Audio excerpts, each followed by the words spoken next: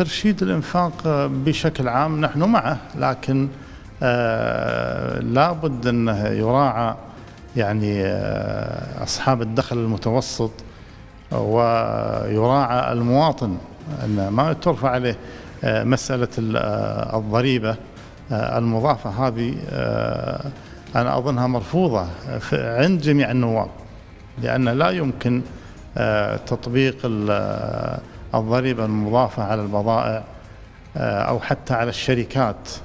إذا كان آه، بالنتيجة أن ترفع الأسعار على المواطنين.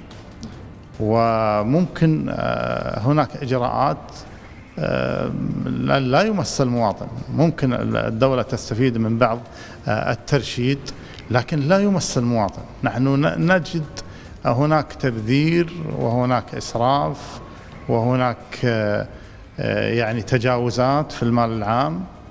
آه، بعيدا عن المواطن يعني تمارسها جهات حكومية. يفترض هذه الجهات هي التي تضبط.